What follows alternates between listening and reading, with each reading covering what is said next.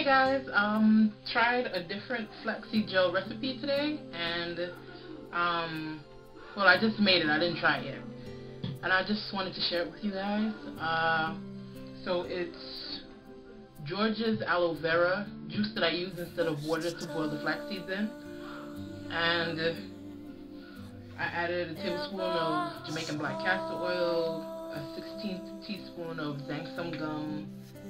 Um? Oh, and the after I had boiled the flaxseed in the aloe vera gel, it was about what four ounces. So I added two ounces of glycerin to it to make it uh, more conditioning. Alright. So here we go. I'm going to use some whipped shea. It's in a Burt's Bees container, but it's whipped shea.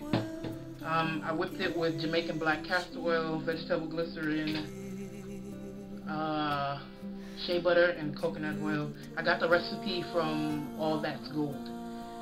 And I'm going to take generous amount. This much. Just emulsify it in my hand. See? Hold on. Add a little more. It in my hand. You can see it a little more. Add just a little more. Same amount.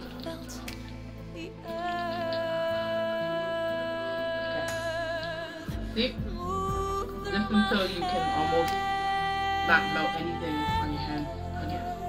Then I'm gonna rake it through my hair.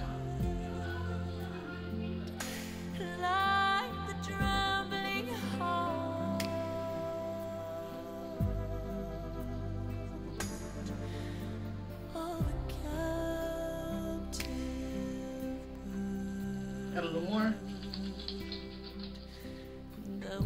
Is shea butter realistic?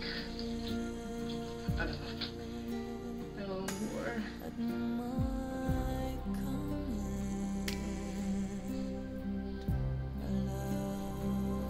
Rake, rake, rake.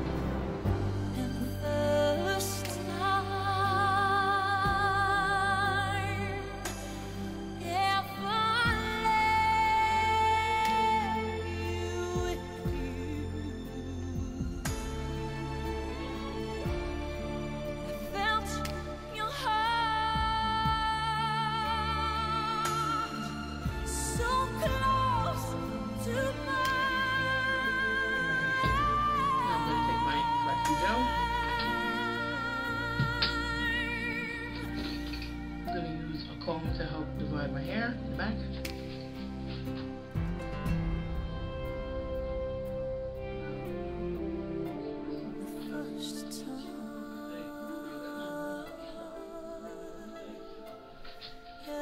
You can always use a butterfly flat clip. I just chose to use the comb. And this is the consistency.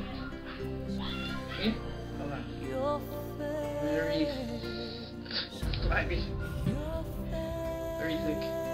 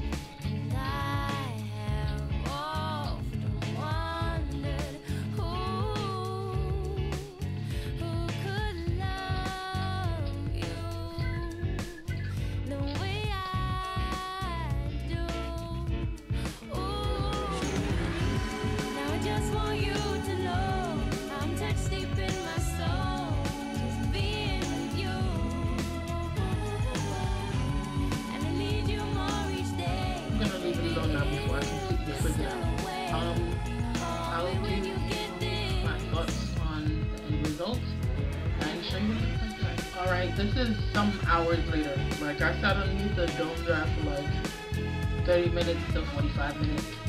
And um, then I just kind of got around.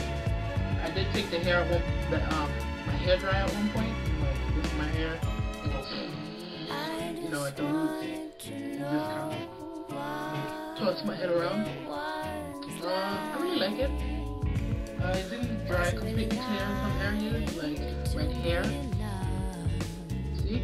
Not clear. But, you know, I think I went a little too heavy with the gel on that side. And then I thought, oh, maybe I can force it to dry clear by adding some more aloe vera gel. The topical, the topical kind.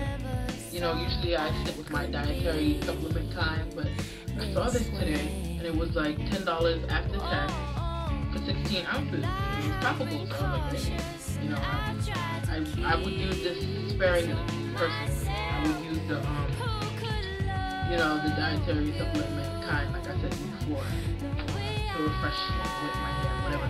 So, this is my hair.